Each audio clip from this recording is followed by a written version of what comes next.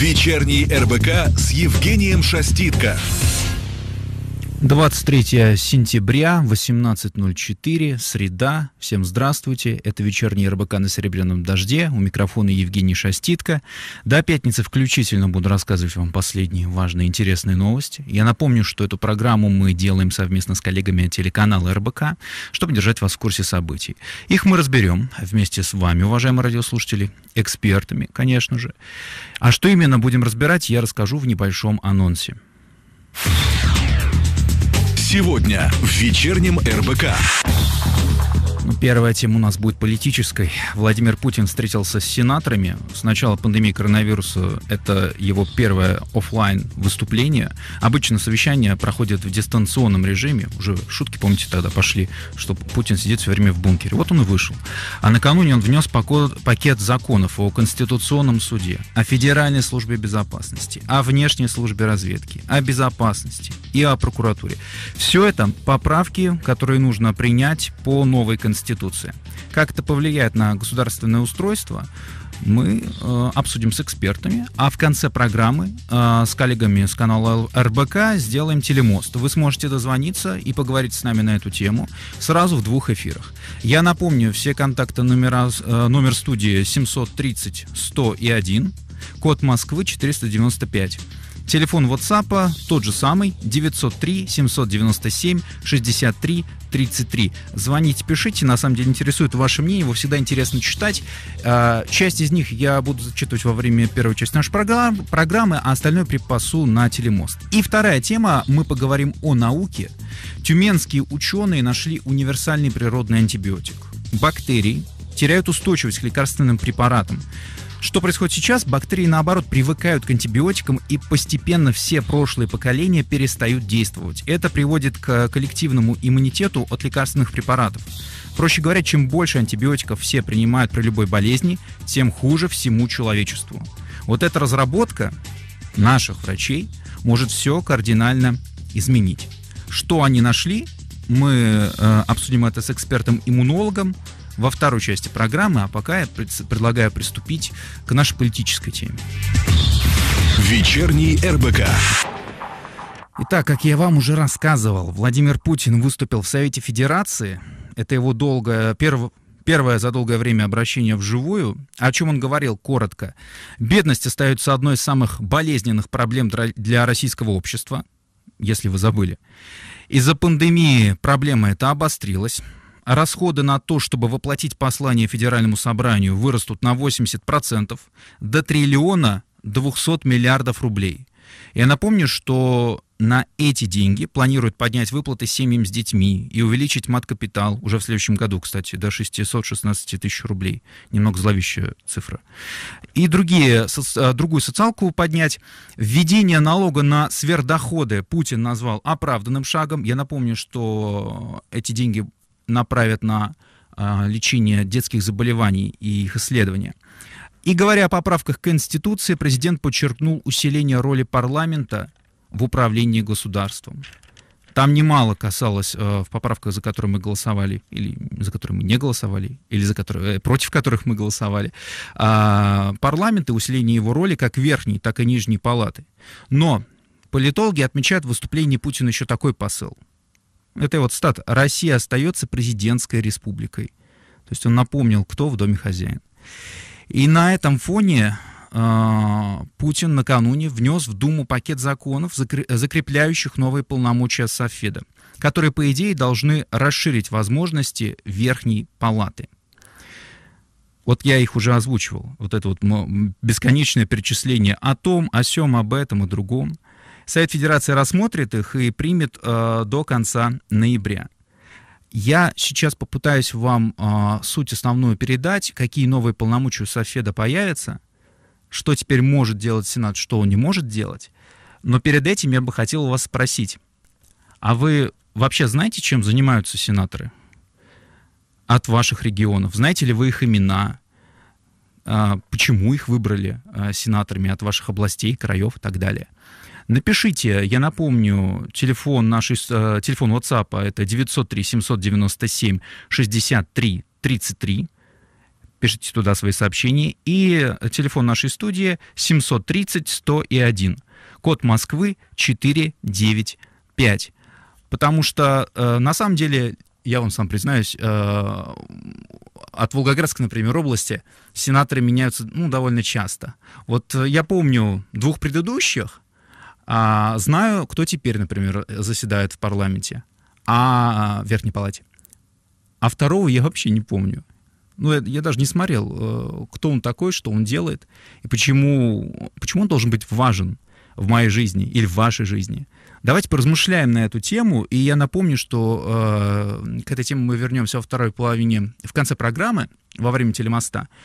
А после небольшой паузы я вам расскажу, какие новые полномочия у Сената и у правительства, кстати, тоже появились. Вечерний РБК с Евгением Шаститко. А, мы вновь вернулись. А, я напомню, что до ухода на небольшую паузу мы обсуждали а, расширение полномочий Совета Федерации. И я спросил у вас, знаете ли вы вообще, кто представляет ваши регионы в Совете Федерации, чем эти люди прославились в ваших краях, областях, почему именно их выдвинули, влияют ли они на вашу жизнь? А, пишите э, по телефону WhatsApp 903 797 63 33 и звоните нам в студию 730 101, код Москвы 495. Вы уже немного тут э, начинаете э, в WhatsApp писать сообщения, ну, они преимущественно, конечно, негативные. Чем занимаются сенаторы? Известно, чем осваивают бюджет. Ну, ребят, ну что, что вы так пессимистично сразу э, к этой теме относитесь? Не обязательно.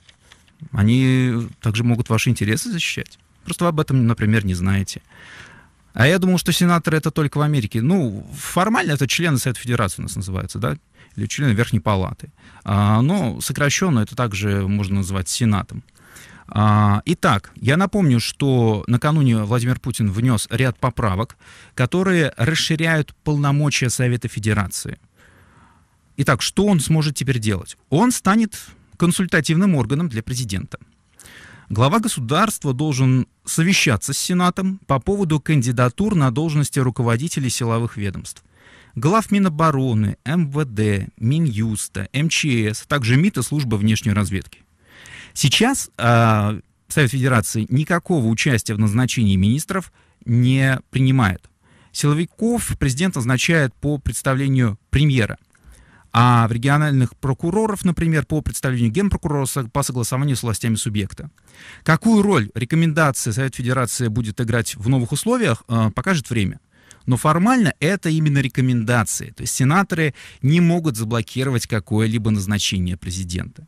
Непосредственно воздействие Совет Федерации сможет оказать на судейский корпус. Какое? Я вам расскажу после того, как мы примем а, звонок. Здравствуйте, вы в эфире. Здравствуйте. Здравствуйте. Я звоню из Орла, меня зовут Александр. Очень приятно. Я знаю одного из сенаторов. Это врач из детской больницы, главный врач, бывший главный врач. Из, из области, где самая высокая детская смертность. Из области, где вторая смертность в России от раковых онкологических заболеваний. Так что вот выводы делайте сами. Какой человек представляет область в Совете Федерации. Спасибо. Спасибо вам за ваш звонок. Я напомню, что телефон нашей студии 730-101, код Москвы 495. Телефон WhatsApp 903-797-63-33. Звоните, пишите, ваше мнение очень интересно. Итак, а, я а, начал говорить о том, как а, Совет Федерации будет влиять на суды.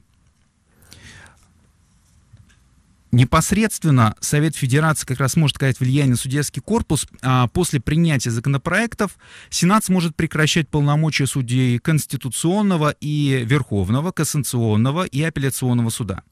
Но опять не по своей инициативе, а по представлению президента. Сейчас право прекращения полномочий судей Конституционного суда а, также принадлежит Совету Федерации. Но сделать это можно по представлению самого КС. При этом а, представление должны одобрить две трети действующих судей. Лишить полномочий всех других судей может только судейское сообщество в лице высшей квалификационной коллегии судей.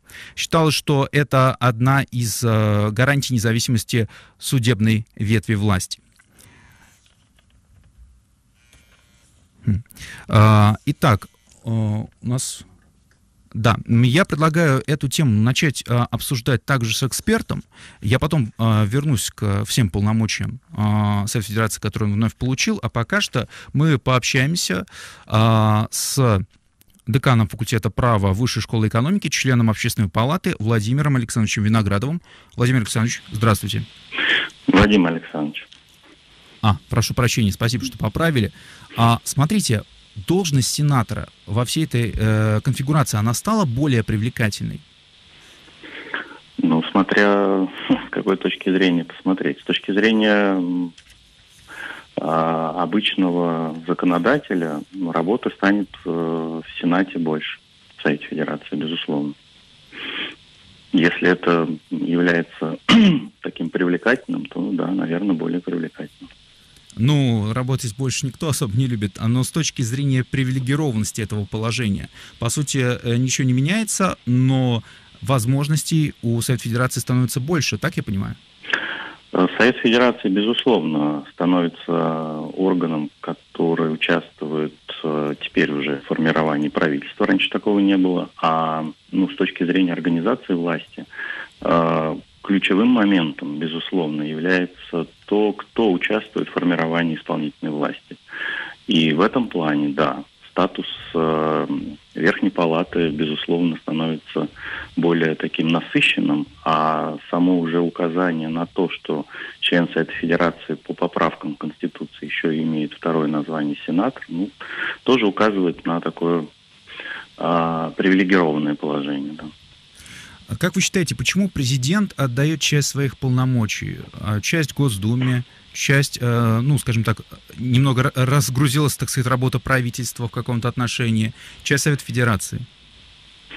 Э, я бы говорил о том, что взаимоотношения ветвей власти становятся более такими усложненными. То есть угу. осуществление отдельных полномочий увязывается с целой сетью дополнительных согласий, согласительных процедур, то есть э, становится более таким м, насыщенным, опять же могу сказать. Что вы имеете в виду насыщенным? Как это? Ну, имеется в виду следующее, что, например, формирование правительства было по, по предыдущей версии Конституции довольно простым. Президент э, представлял кандидатуру председателя правительства. Как только она утверждалась, дальше, собственно, взаимодействие по остальному формированию правительства, э, это были отношения между главой государства и вновь э, назначенным главой правительства. Сейчас вся эта процедура становится более сложной. В ней участвует гораздо в большем объеме Государственная Дума, утверждая кандидатуру отдельных министров добавляется новый участник, Совет Федерации, который утверждает, и с ним проводятся соответствующие консультации о назначении а, силового блока правительства. То есть в этом смысле все процедуры становятся более такими а, сложными, в нем участвует, в этих процедурах участвует все больше а, таких игроков. Как вы считаете, вот это разделение силового блока и несилового блока, то, что силовой блок остается за президентом, но он согласует его с Советом Федерации, а Госдума выбирает несиловых министров, это для чего сделано? Опять же, просто чтобы распределить э, полномочия, или у этого есть еще какая-то причина? Вы знаете, эти блоки и в предыдущей версии, в действующей пока версии да. закона о правительстве а, уже было. То есть э, всегда выделялся блок, которым непосредственно руководит президент. Это и как раз был тот силовой блок, куда входил министр иностранных дел, МЧС и э, обороны, ну и другие министры. А, собственно, то, что м, сейчас этот блок отдельно а, формируется от остальной части правительства, на мой взгляд, логично продолжает ту же линию выделения этого блока из э, состава правительства. То есть в этом принимает участие э, Совет Федерации, который и так частично, в общем-то, занимался этими вопросами. Почему? Потому что назначение министра МЧС а, коррелируется с такими полномочиями Совета Федерации, как введение чрезвычайного положения, да. а, введение военного положения и так далее. Назначение а, этих министров аналогично именно Советом Федерации. Спасибо. Спасибо. Я напомню, что с нами был Вадим Александрович Виноградов, декан факультета права Высшей школы экономики, член общественной палаты. А я также напомню э, номер нашего WhatsApp 903 797 63 33 и номер студии 730 101, код Москвы 495. Я спрашивал у вас, знаете ли вы, кто представляет а, ваши регионы в Совете Федерации, что это за люди, как они влияют на вашу жизнь. Пишите, звоните, и также я напоминаю, что к этой теме мы вернемся в конце программы во время нашего телемоста с каналом РБК. Итак, еще одна интересная э, поправка, которая затрагивает Совет Федерации. Президент сможет обратиться в Конституционный суд с запросом о проверке конституционности федерального закона после его принятия Госдумой и одобрением Совета Федерации, но до вступления этого закона в силу. То есть как это работает сейчас? Например, Госдума и Сенат одобрили закон Совет Федерации. Президент против, накладывает вето. Госдума и Совет Федерации могут его преодолеть, если две трети членов обеих палат будут за закон. Теперь президент может пойти на новый раунд оспаривания и попросить Конституционный суд проверить законопроект на соответствие как раз Конституции. если тот ему противоречит, закон не может быть принят. А я напомню, что Совет Федерации снимает конституционному судью по представлению президента. Кстати, Андрей Клишес, председатель э, с Комитета Совета Федерации по конституционному законодательству, заявил, что э, число судей КС сократится до 11. Судите сами, какие можно из этого выводы сделать.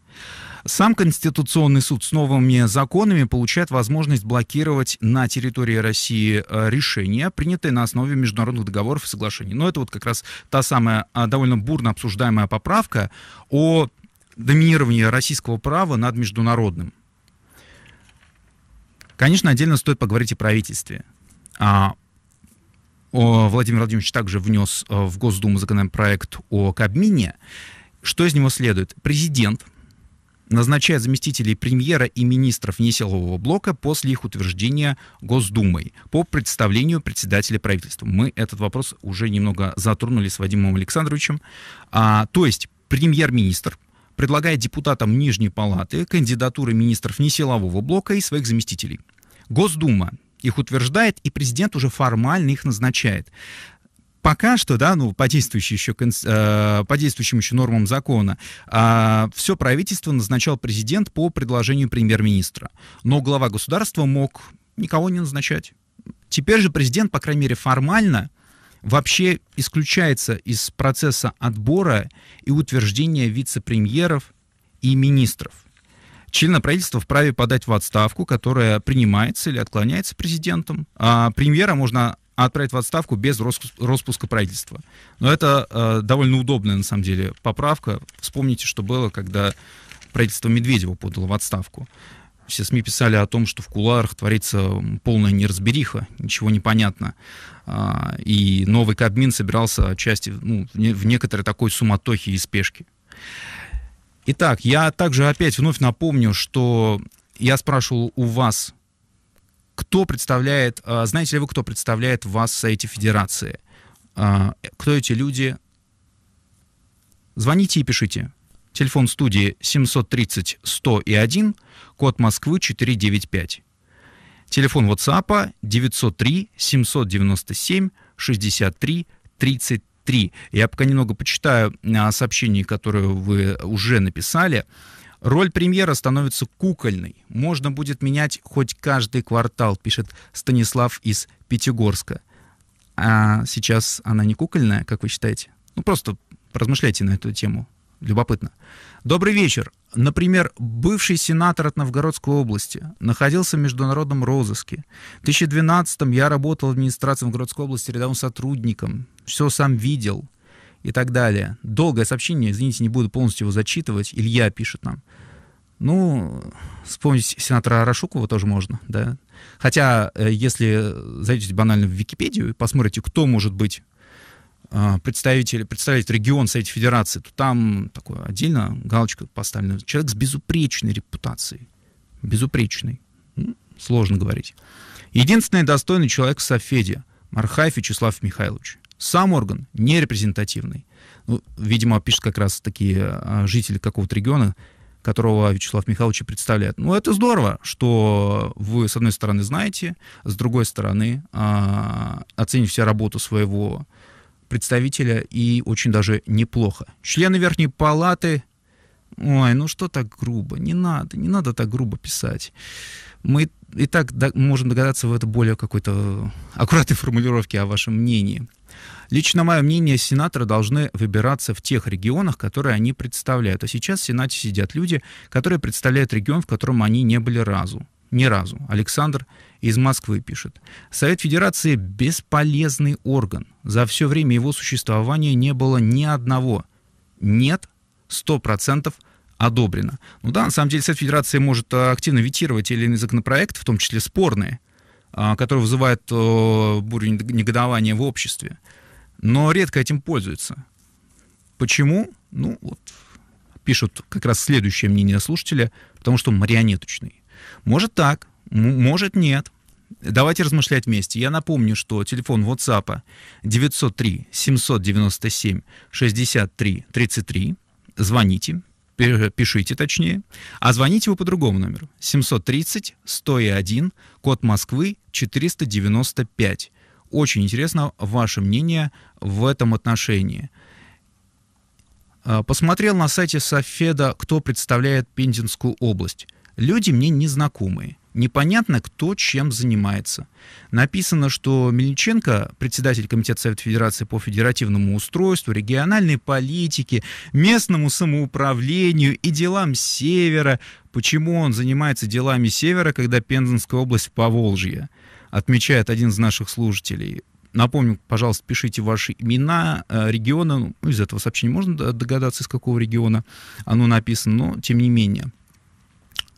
А, также а, в суд обращаться теперь смысла вообще не будет. Независимый суд остался в телешоу окончательно. Ну, был ли он независимым до этого, тут тоже как бы э, такой вопрос, о котором можно подискутировать активно. Я вновь напомню наши телефоны 730-101, код Москвы 495, телефон WhatsApp 903 797 63 33.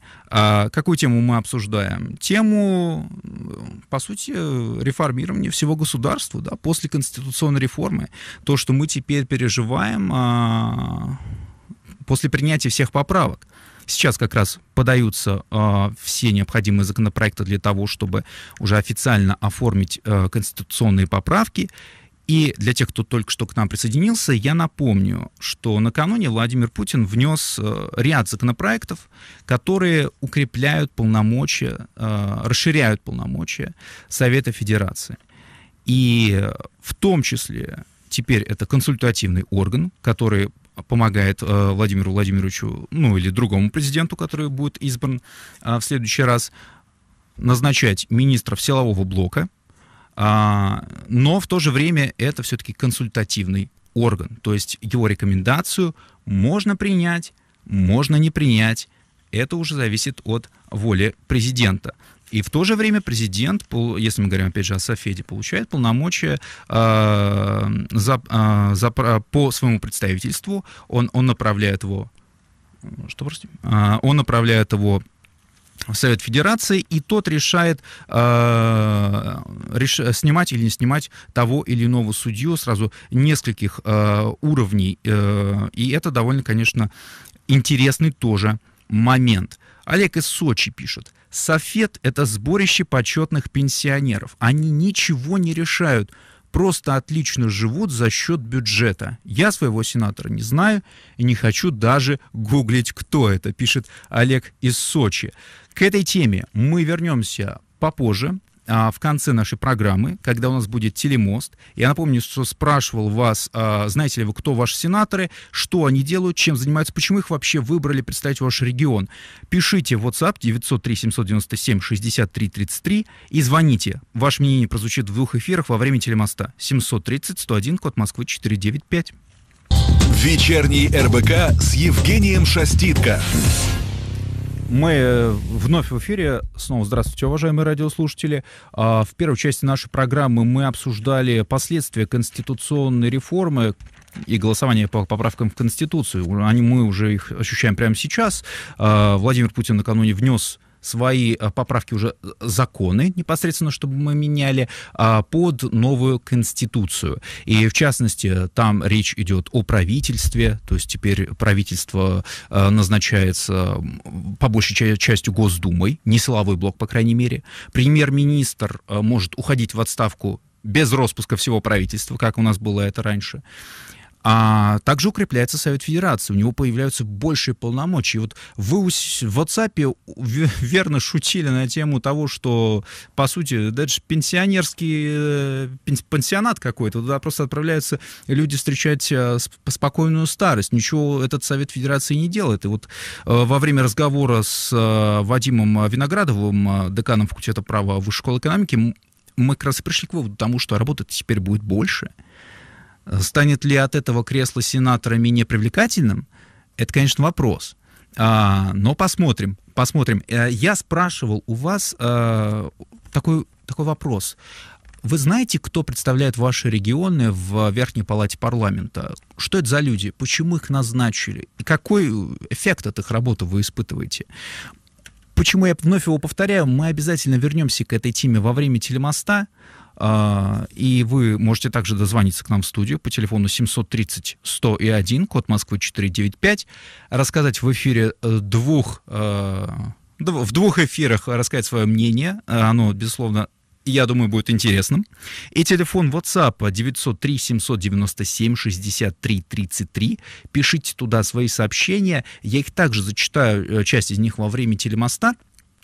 И я их уже потихоньку откладываю, такие, знаете, самые интересные, а, поэтому оставайтесь до конца эфира, и я их, и я их озвучу, вы их услышите. А пока я предлагаю перейти немного к другой теме, поговорить о науке. Вечерний РБК. В России открыли революционный природный антибиотик, начинает громкими заголовками свой материал РИА Новости. Ученые Тюменского государственного университета совместно с российскими коллегами нашли вот этот универсальный природный антибиотик, который преодолевает устойчивость патогенов к лекарственным препаратам.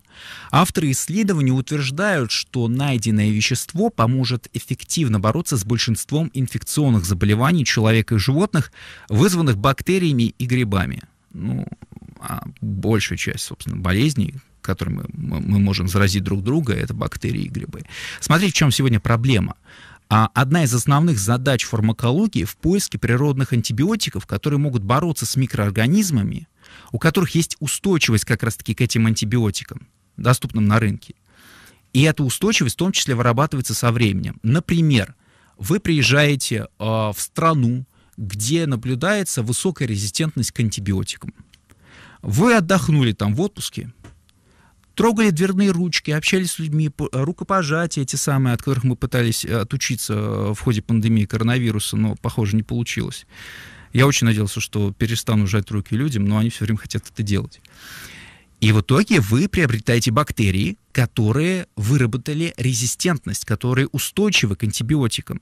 И даже если вы в своей жизни особо-то ими не злоупотребляли, то у вас эта резистентность появится тоже – бактерии привыкают к антибиотикам, и постепенно все прошлые поколения перестают действовать, это приводит к коллективному иммунитету к лекарственным препаратам. Проще говоря, чем больше антибиотиков все принимают при любой болезни, чем от, тем от этого хуже всему человечеству. Что же нашли наши ученые? Они обнаружили пептид, который может подавлять у бактерий способность к образованию биопленок, из-за чего устойчивость этих патогенов к антибиотикам сходит на нет. Я предлагаю сейчас потихонечку связываться с нашим а, экспертом, с которым эту тему мы бы хотели обсудить. А я пока у вас хотел задать, знаете, какой вопрос? М-м, смотрите, у нас два успеха за год. Первый — это то, что мы первыми в мире нашли вакцину от коронавируса. Можно сколько угодно сомневаться в ее эффективности и так далее, но, по крайней мере, правительство утверждает, что да, мы первые, мы лучшие и так далее. А теперь, вероятно, открыли революционный природный антибиотик. Наш биомед силен, получается? Мы можем? Как вы считаете? А, телефон WhatsApp 903 797 63 33, а телефон а, студии 730 101, код Москвы 495. Пока что мы эту тему обсудим а, с Романом Сергеевичем Козловым. Это член-корреспондента РАН, ректор Смоленского медицинского университета. А, Роман Сергеевич, здравствуйте. Здравствуйте. Как вы считаете, вот это открытие, оно действительно какое-то прорывное? Или же это просто очередной шажок, очередная попытка найти действительно устойчивый к антибиотикам а, а, субстракт? Нет, на самом деле это действительно одна из значимых попыток найти антимикробный препарат, который будет обладать активностью в отношении проблемных возбудителей. Возбудителей, обладающие множественной устойчивостью к антимикробным препаратам. То есть э, мы действительно говорим о каком-то революционном прорыве, который э, может изменить э, фармакологию в целом. Как это, как это отразится в дальнейшем? Нет, мы говорим об одной из значимых попыток, но не mm-hmm. говорим о какой-то суперреволюции. Мы должны mm-hmm. очень хорошо понимать, что любой новый имеющийся препарат, который обладает активностью в отношении микроорганизмов, к нему независимо от нашего желания, независимо от особенностей использования, устойчивость возникать будет всегда. Угу. Не бывает антибиотиков, в котором не возникала бы устойчивость бактерий. Это... Другое дело, так, что да. подобные работы имеют принципиально важное значение, потому что открывают новые перспективы использования при определенных микроорганизмах. А вот скажите, в других странах подобные исследования наверняка также велись. Каким успехом там при, приходят?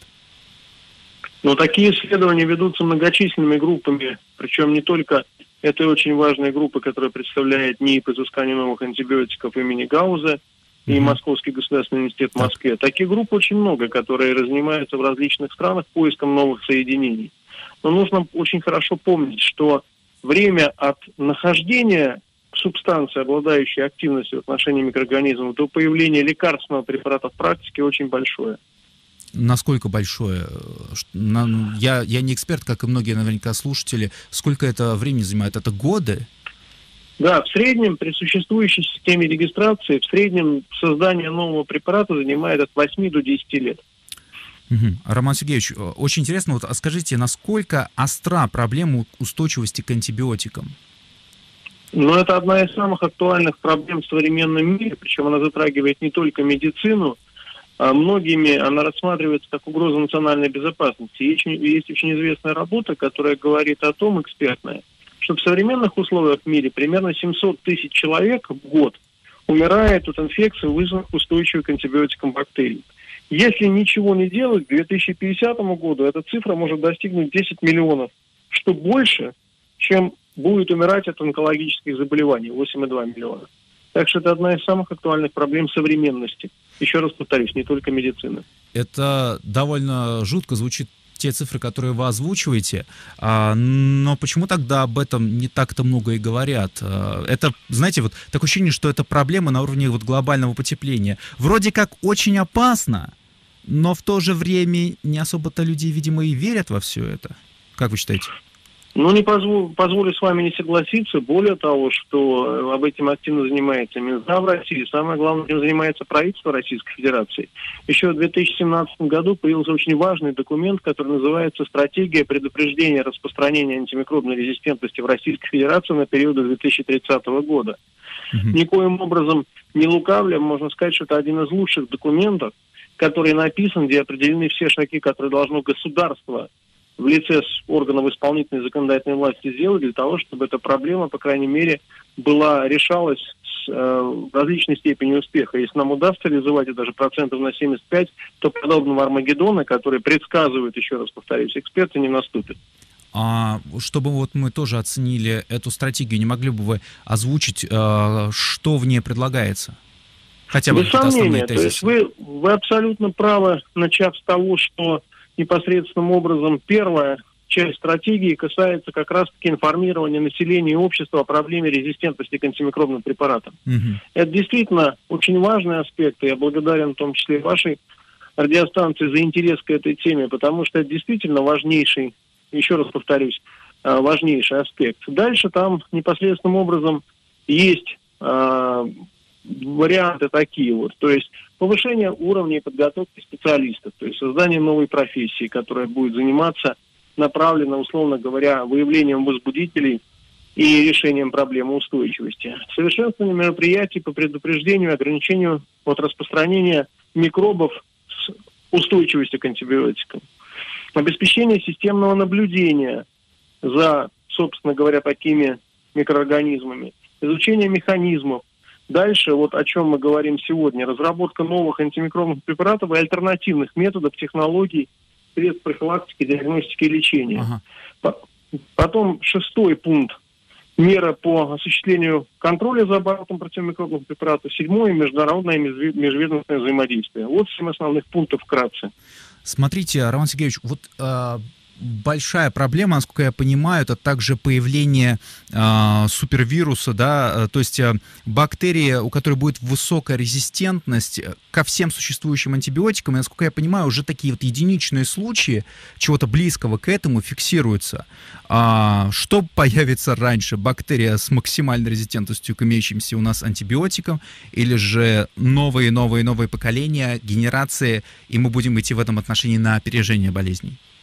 Ну, необходимо очень четко понимать, что, конечно, термин супербактерия или супербактерия – термин, который был в целом придуман для удобства коллег. Он характеризует, как вы совершенно правильно сказали, микроорганизм с высокой уровнем устойчивости к различным антимикробным препаратам. Такие штаммы появляются фактически ежедневно, а, поэтому изучением занимаемся в том числе направленно мы, Смоленский, как Федеральный центр мониторинга резистентности к антимикробным препаратам Минздрава России, и ряд других наших коллег. Такие микробы появляются. Но самое главное, что нужно помнить, что в целом э, катастрофа пока не наступает. То есть у нас в арсенале есть антимикробные препараты, которые в виде комбинации, то есть несколько препаратов, либо в виде более высокой дозы позволяют справиться непосредственным образом с большинством подобных бактерий. Самое главное в современных условиях – их быстро выявлять и не допускать распространения в данном случае, если мы говорим о Российской Федерации, по территории Российской Федерации. А это целый комплекс мер, который как раз-таки описывает вышеуказанная стратегия. Про выявление вот вы еще очень интересно отметили. Часто же, я так понимаю, бывает, что э, иногда неизвестно какой там геном, если я правильно, если я ошибаюсь, поправьте меня, именно уже обладает резистентностью и циркулирует в той или иной стране. Есть же такая ситуация, да? Нет, на самом деле современные технологии, которые пришли в микробиологию, в том числе, о котором мы сегодня говорим, позволяет в течение очень короткого времени полностью расшифровать геном, то есть полностью uh-huh. расшифровать структуру, которая кодирует и слово, степень вирулентность, то есть степень способности микроба вызывать заболевание, а также устойчивость к антимикробным препаратам. Такие технологии есть, есть они и в Российской Федерации. То есть здесь вопрос заключается в том, что любые технологии должны быть направлены в целом на здоровье сбережение нашего населения. Поэтому вот эти вот технологии э, в купе с классическими технологиями позволяют нам выявлять, определять, что за микроб вызывает, определять не только устойчивый он, неустойчив, а степень устойчивости. Угу. Ну, условно говоря, слабо устойчив к антимикробным препаратам, сильно устойчив и так далее. И позволяет, как следствие, выбрать наиболее рациональную тактику использования антибиотиков. Технологии такие в России есть, и мы этим активно занимаемся. А, Роман Сергеевич, еще один такой вопрос уже от слушателя. А, спрашивают, чем плохие бактериофаги как альтернатива антибиотикам? Артур из Казани пишет. Но необходимо сказать о том, что бактериофаги потенциально имеют перспективу использования, но не как альтернатива, как дополнение. Альтернатива антибиотикам нужно понимать не будет. Потому что не приведи Господь, как говорится, не будет эффективных антибиотиков, эффективного лечения инфекции не будет никогда. Бактериофаги в целом вещь перспективная, разработки идутся, они пока еще ранние и так далее. Проблема с бактериофагами такая же в целом, как с антибиотиками. Бывают микроорганизмы устойчивые к бактериофагам, Кроме того, есть там ос- особенности производства бактериофагов. В идеале бактериофаг должен создаваться на конкретный микроб, выделенный у конкретного пациента, так называемый персонализированный подход. Вот в этом есть тоже определенные сложности. Благодарит вас Артур из Казани за этот подробный ответ. А, Роман Сергеевич, последний вопрос. Как вы считаете, сколько у нас есть времени э, до того, как, грубо говоря, все антибиотики перестанут быть эффективными? Какая это а, перспектива? Я Я абсолютно, я не только надеюсь, я абсолютно уверен в том, что такой ситуации не наступит никогда. Угу. Но это совершенно не означает, что нам нужно успокоиться, нам нужно делать все, чтобы рационально использовать антибиотики. А нашему населению, прежде всего, нужно не покупать антибиотики в аптеках без рецепта. Если каждый и четко выполнять, собственно говоря, назначение врача. Если мы будем следовать этим простым правилам, такой ситуации не наступит никогда. Спасибо большое. Роман Сергеевич Козлов был с нами на связи, член-корреспондент РАН, ректор Смоленского медицинского университета. А я также напомню, что спрашивал у вас, э, верите ли в нашу медицину, в нашу науку. Пишут, открыли лазер, вышли в космос, по словам Гагарина, так вообще поехали, пробили окно в Европу. Что нам какие-то микробы, Иван из Москвы? Нужно не антибиотики новые изобретать и резистентность к ним снижать, а искать способы улучшения иммунитета, синтеза белка. Я, конечно, не имею ученых степеней, но знаю кое-что, что знали также тысячи лет назад строители пирамид в Гизе. Тоже интересное мнение. После небольшой рекламы мы вернемся, и будет у нас телемост РБК. Вечерний РБК с Евгением Шаститко. Uh, да, начинается наш традиционный телемост с телеканалом РБК. Uh, на связи со мной Элина Тихонова. Здравствуй, Элина. Привет, Жень. Ну вот если говорить про грядущие изменения в Совете Федерации именно, что слушатели «Серебряного дождя» в принципе знают сейчас про работу Верхней Палаты парламента российского, и многих ли сенаторов могут вспомнить? поработали, знаешь, немного такой сегодня книга жалоб, потому что каждый писал э, имя своего сенатора и говорил, я не знаю, кто этот человек, и вообще он недостоин того, чтобы быть сенатором. Я, кстати, сейчас напомню коротко, что вы можете позвонить в эфир 730-101, э, код Москвы 495, и высказать свое мнение. А я пока зачитаю то, что нам писали в, на сайте и в WhatsApp. Центральный вопрос. Кто назначает сенаторов? Очевидно же, что если один человек назначает их и консультируется с ними, будет рассеивание ответственности, пишет из, э, Вениамин. В России сложилась практически феодальная форма управления, при которой Дума и Совет – декоративные органы власти – еще мнение. Сенаторы, чем они занимаются? Осваивают бюджет, э, деньги налогоплательщиков. Совет Федерации – это сборище почетных пенсионеров. Они ничего не решают, просто отлично живут за счет бюджета. У нас есть звонок, предлагаю его принять и послушать мнение. У нас есть звонок, это я. А, нет, к сожалению, сорвался звонок. А, в... Есть у нас все-таки звонок. Да, а, есть звонок. Здравствуйте, я вас слышу, очень приятно. Алло. Алло, да, добрый вечер. Да, здравствуйте. Скажите, что вы думаете по поводу Совета Федерации? По поводу Совета Федерации, вы знаете, э, мы тут э, сидим с другом э, и думаем, что как так получается, что просто вот чисто случайно включил сегодня телевизор, там идет бегущая строка, что какие-то перемены произошли. Э, почему, может быть, э, президент не вышел и рассказал бы нам о том, что он сделал, например. Э, прям, а мы услышим всем вот ваше радио, и очень тяжело внедряться, когда приглашаете каких-то людей, они что-то рассказывают, ну, как бы очень тяжело это все воспроизводится. Возможно, возможно. Почитаю еще парочку сообщений э, из Нижнего Новгорода. Представляет нас бывший музыкант Любе, построивший огромный особняк с псарни в центре Нижнего, перегородивший набережный в обход закона. Грустная история. В Российской Федерации сенатор суть обычные, обычные профанаторы. В общем, грустное, грустное мнение, Елена, по поводу наших а, представителей Верхней Палаты парламента. Что у вас? Ну, хотя бы знают, кто представляет их э, регион в Совете Федерации. Слушатели «Серебряного дождя» уже вперед. А, предложенные президентом изменения нынешние вот в работе Софеда мы просили прокомментировать политолога Александра Конькова. Расширение полномочий в высшем, а, высшем нормативном акте страны, в Конституции, это уже колоссальный аванс.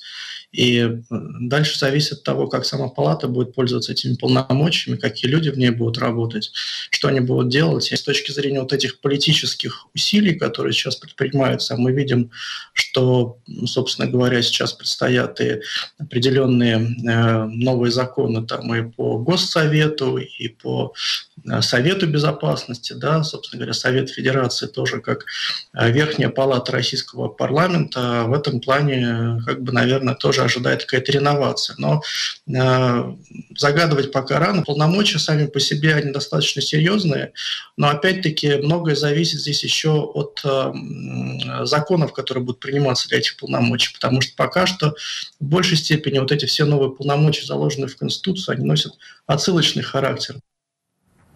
Спасибо за это включение. Закончился наш традиционный мост с телеканалом РБК. Вас вновь э, взбудоражила тема Совета Федерации, много новых сообщений пришло.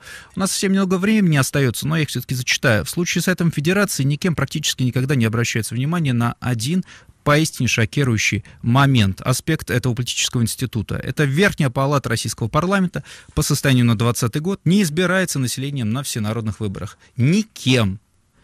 Другое мнение. Нашего сенатора ловили с кокаином и проститутками в Москве. Не сняли. Сына его в госкорпорацию пристроили. Хорошие все люди. Нужные. Интересное мнение, интересные сенаторы, что самое главное. А, я напомню, что это была программа «Вечерний РБК» на «Серебряном дожде». Сегодня с вами был Евгений Шаститко. Мы обсуждали две а, довольно интересные темы. Это конституционная реформа, к чему она привела, как это отразится на Совете Федерации, на Верхней Палате парламента, а, как это отразится на, на правительстве, на том, как оно работает, его структуре. И, конечно, мы поговорили а, о находки э, тюменских ученых. А, они обнаружили, напомню, устойчивый, а, к анти... А, устойчивую к антибиотикам бактерию. И это действительно может быть передовым открытием, которое серьезно продвинет как нашу науку, так и вообще всю медицину, которая ищет новые и новые способы решения проблемы резистентности антибиотиков. И, возможно, это и есть такой ключик. Увидимся, услышимся с вами завтра, также под «Серебряным дождем».